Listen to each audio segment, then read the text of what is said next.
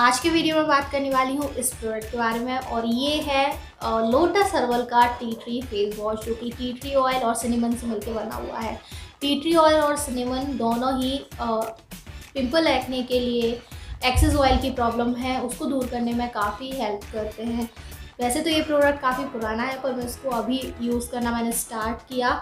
तो काफ़ी अच्छा काम करता है ऑयली स्किन पे और मेरी ऑयली स्किन है तो मुझे काफ़ी पसंद आया, इसलिए मैं इसका रिव्यू कर रही हूँ।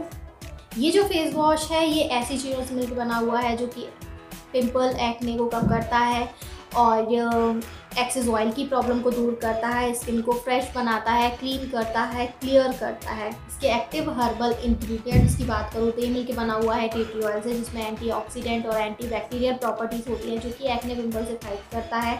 सिनेमन से मिलकर बना हुआ है, जिसमें एंटी माइक्रोबियल प्रॉपर्टीज़ होती है। जो कि जो भी सारे फंगस और बैक्टीरियाज होते हैं जिसके कारण स्किन इन्फेक्शन होते हैं, उनसे फाइट करता है। ओ बाग से मिलकर बना हुआ है जिसमें कि एस्ट्रीजेंट और हीलिंग प्रॉपर्टीज़ होती है। ये इतनी अच्छी अच्छी चीज़ों से मिलकर बना हुआ है। ये जो फेस वॉश है, आपको इजीली ऑनलाइन ऑफलाइन कहीं भी मिल जाएगा, पर अगर आप इसको ऑफलाइन लेते हैं तो किसी अच्छे शॉप से परचेज़ करें, क्योंकि जब भी आप कोई भी स्किन केयर प्रोडक्ट लेते हैं, उसको अच्छे शॉप से ही परचेज़ करना चाहिए, और ऑनलाइन आपको अमेज़न फ्लिपकार्ट नायका बर्पल कहीं पे भी मिल जाएगा, जो कि बड़े अच्छे डिस्काउंट के साथ मिलेगा। ये इसका स्मॉल पैक है 50 ग्राम का, जिसका प्राइस वन फोर्टी रुपीज़ है, और इसका एक बड़ा पैक भी आता है। ये प्रोडक्ट आप दो साल तक यूज़ कर सकते हैं।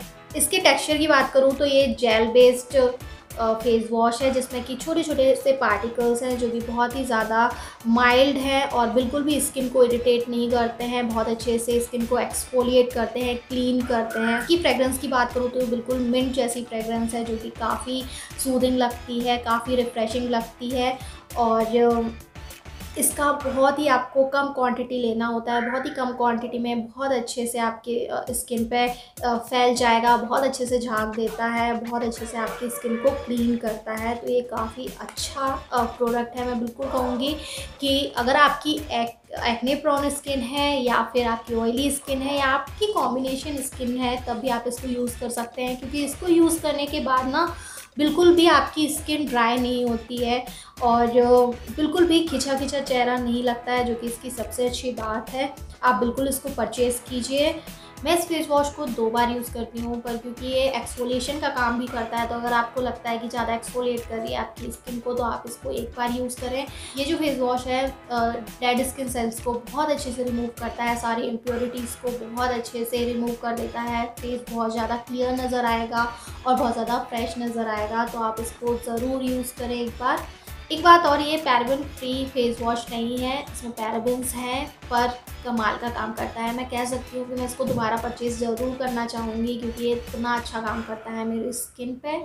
और ऑयली स्किन है, आपकी एक्ने प्रोन स्किन है तो एक बार इसको ज़रूर ट्राई कीजिए।